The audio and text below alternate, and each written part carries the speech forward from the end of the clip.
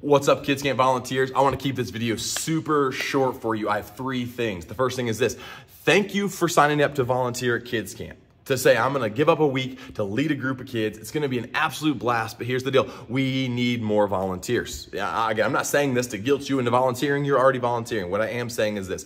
I have enough people on a team right now to have a kids camp for 130 kids and we have 244 kids signed up. And that means any kid that doesn't have a leader we have to not let come to camp. That's the rule. So uh, all i'm saying to you is this.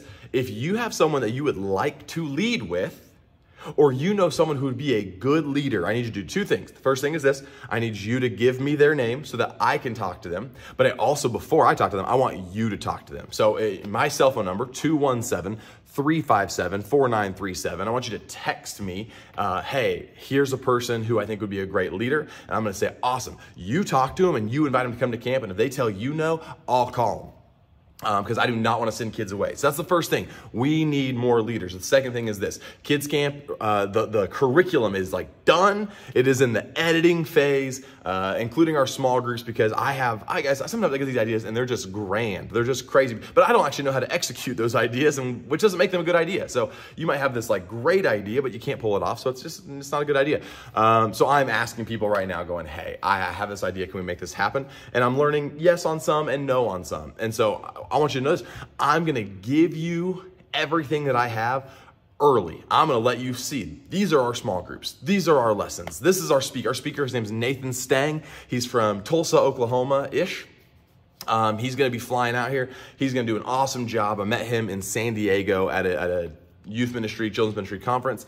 Um, and so I'm going to give you that. The third thing is this. I've been having you ask, or some of you have asked, hey, anything I can do to help beforehand? And the answer is yes, starting on May, the Tuesday after Memorial Day. So Memorial Day, the office is closed. That next Tuesday, I'm going to have a list of things I'm gonna be doing things. You can come in, help do things. Some of it's gonna be, hey, we gotta make lanyards for 244 kids plus leaders. Some of it's gonna be, hey, we need to compile small group materials in a way that we can easily distribute. Some of it's gonna be, hey, we need to just figure out how we're gonna fit potentially 300 kids in our building. Uh, and so if you are gonna, if you are someone going like, hey, how can I help? What what do you have?